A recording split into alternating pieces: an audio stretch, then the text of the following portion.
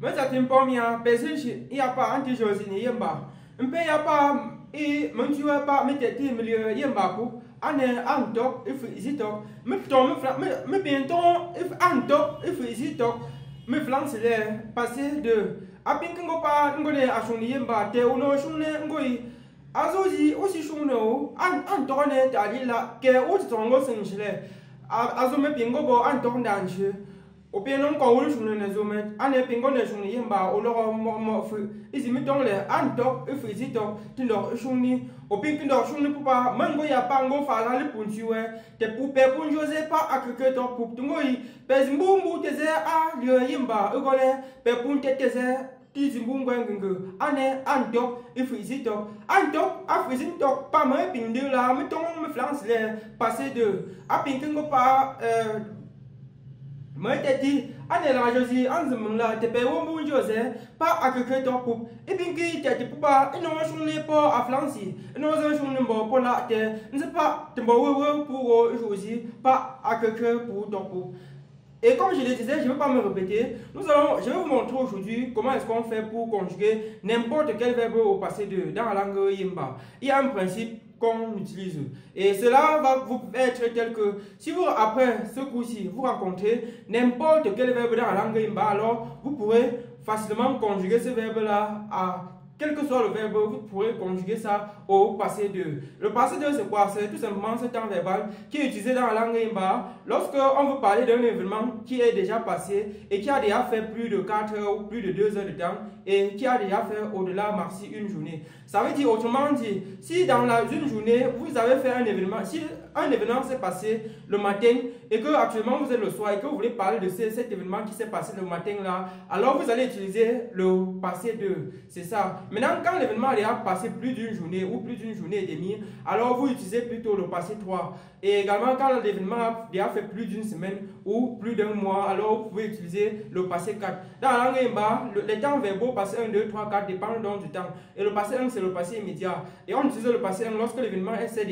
vient de se passer à l'immédiat. Ou lorsque l'événement vient de se passer, il y a cela maxi 2 ou 4 heures de temps. Donc, les temps verbaux dans la langue Imba, passé 1, 2, 3, 4, sont liés au fait que c'est fonction du temps. Et je vais donc expliquer sur le tableau qui a derrière moi. Le principe fondamental que vous devez retenir pour conjuguer n'importe quel verbe au passé de, c'est que quoi? Vous utilisez juste le marqueur 1 plus le premier caractère de la forme consécutive du verbe que vous voulez conjuguer. Et je vais expliquer sur le tableau qui est derrière moi. J'avais fait euh, euh, j'ai déjà fait un cours sur les formes primitives, dans, sur les formes infinitives dans la langue Imba. Et j'avais dit que dans la langue Imba, il existait deux infinitives. Il existait la première infinitive, encore appelée infinitive ou première forme de l'infinitive. Et il existait aussi une deuxième, un deuxième infinitive appelée deuxième forme, appelée deuxième forme de l'infinitive ou encore appelée forme consécutive. Et maintenant, c'est justement cette deuxième forme de l'infinitive qui intervient lorsqu'on veut conjuguer le verbe au passé de. Contrairement au passé 1, que on utilise plutôt la première forme de l'infinitive plus le marqueur. Au passé 2, on utilise plutôt la deuxième forme de l'infinitive plus le marqueur. Donc, c'est ça que vous, allez voir. J'ai dit euh, plus la doublure du premier caractère de la deuxième forme de l'infinitive du verbe. J'explique. Remarquez, le verbe lutter dans la langue ça signifie porter. Le cap, cueillir. Le fait, manger. Le père, euh, le pet, le pet, c'est soigner. Je vais vous montrer comment est-ce qu'on conjugue ça. J'ai dit qu'on plus la doublure du premier caractère de la forme consécutive du verbe à conjuguer. Remarquez une chose. Tous ces verbes-ci sont à la première forme de l'infinitive ou encore à l'infinitive. Maintenant, il suffit juste de trouver la deuxième forme de l'infinitive de chacun de ces verbes et le tour est joué. Et dans le livre de grammaire qui est dans la barre de description, je vous montre comment est-ce qu'on fait pour trouver la deuxième forme de l'infinitive à partir de la première forme de l'infinitive et vice versa, puisque c'est, euh, on peut faire un inverse, c'est-à-dire c'est, ils sont liés. Le verbe le tu a pour forme consécutive ou deuxième forme de l'infinitive un tu. Le verbe le cap a pour deuxième forme de l'infinitif ou forme consécutive un cap. Le verbe le, fait a pour forme consécutive fait. Et le verbe le pet a pour forme consécutive bête. Remarquez une chose. J'ai dit que c'est un plus le, la doublure du premier caractère de la deuxième forme consécutive du verbe à conjuguer. C'est ça que j'ai abrégé ici. Remarquez, la doublure du premier caractère de la, de, la forme consécutive. Le, le verbe ici, ah, le premier caractère du verbe du, de qui est la forme consécutive de l'uti, le premier caractère c'est ne. Ça veut donc dire que quoi? Pendant la conjugaison, on aura le marqueur plus. On va ajouter tout simplement ne. Le verbe le cap a pour forme consécutive un cap et le premier caractère c'est ne. Pendant la conjugaison, on va tout simplement ajouter encore un ne ici. Le verbe le fait pour forme consécutive un fait et le premier caractère est me. Pendant la conjugaison, on va tout simplement ajouter un me. Le verbe le pète a pour, a pour forme consécutive mbet. Et pendant la conjugaison, on va tout simplement doubler encore ce premier caractère. Donc, le premier caractère sera donc doublé pendant la conjugaison. Et qu'est-ce que ça va donner? Ça va donner ceci. On dira au passé de pendant la conjugaison pour le premier verbe qui est le tu. On dira donc tu,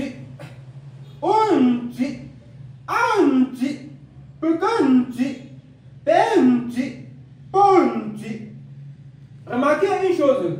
Mwenti, qui signifie j'ai porté. Unti, tu as porté. Anti, il a porté. Peganti, nous avons porté. Penti, vous avez porté. Ponti, ils ont porté. Remarquez que il y a donc ce, caractère double qui s'est augmenté.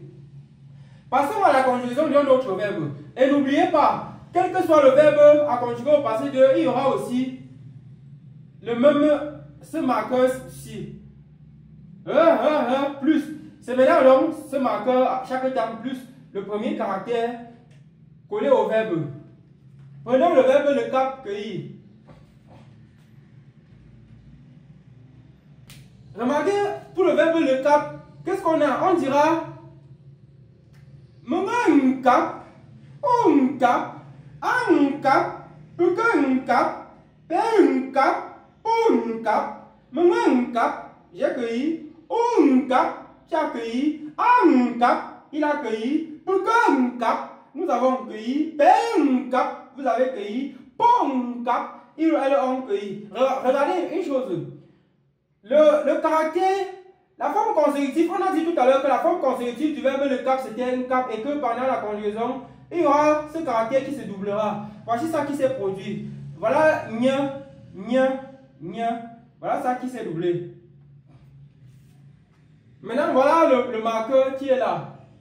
Voilà ça. Maintenant, passons au verbe le fait. Pour que vous voyez. Qu'est-ce qu'on dira?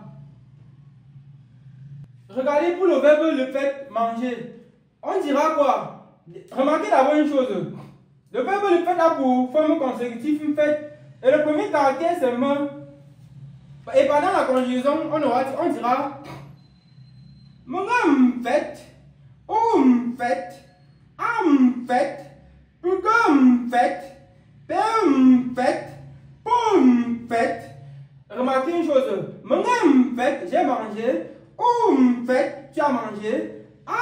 Fait, il ou elle a mangé. Fait, nous avons mangé.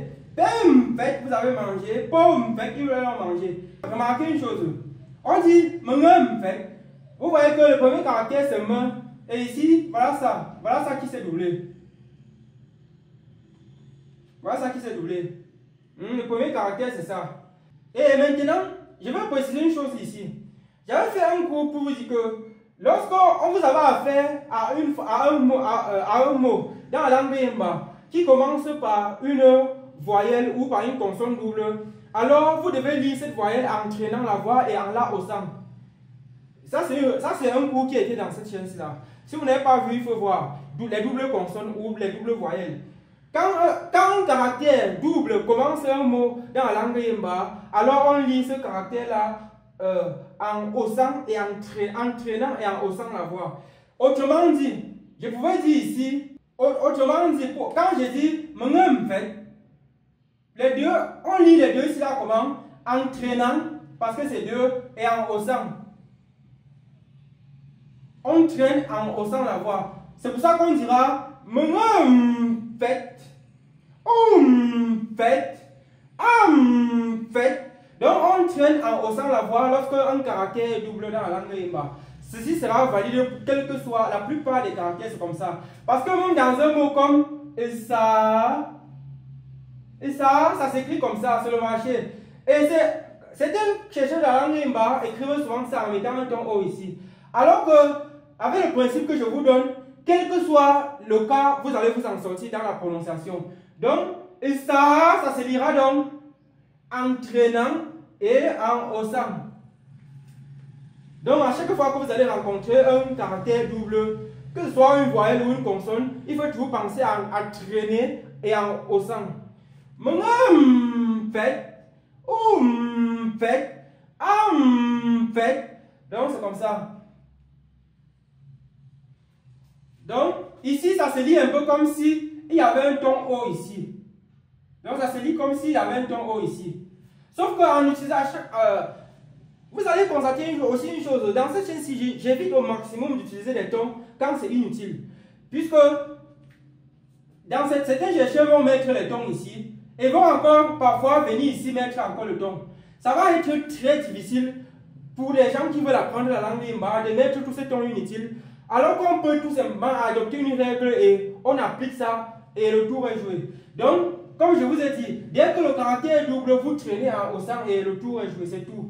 Voilà. Maintenant, passons au, dernier verbe qui est le bête. Le bête, c'est soigner. On dira forme consécutive mbet. Le premier caractère est m. Qu'est-ce qu'on dira? Regardez pour le verbe le bête, on dit mbet. Le premier caractère de ce verbe ici, c'est quoi? Voici le premier caractère de ce verbe. C'est mbet avec ça comme premier caractère. Pendant la conjugaison, qu'est-ce qu'on dira? On dira maman mbet, oh mbet, ah mbet, pourquoi mbet, mbet, oh mbet. Bon, remarquez une chose, maman mbet, c'est j'ai soigné, oh mbet, j'ai soigné, ainsi de suite. Remarquez une chose. Euh, le premier caractère, c'est quoi? C'est me. Voilà, voilà, voici me qui se répète simplement. On cible simplement le premier caractère, on double à chaque fois. Et le marqueur reste, le, premier marqueur s'y reste toujours. Donc, voilà, je vous ai donné aujourd'hui le principe pour conjuguer n'importe quel verbe. Et pour pouvoir conjuguer aussi n'importe quel verbe, j'ai dit que vous devez connaître comment on fait pour retrouver la forme consécutive à partir de la forme infinitive et le lien est ce cours est dans le livre de grammaire qui est dans la barre de description. On se dit à très bientôt pour ceux qui sont abonnés à la chaîne. Bye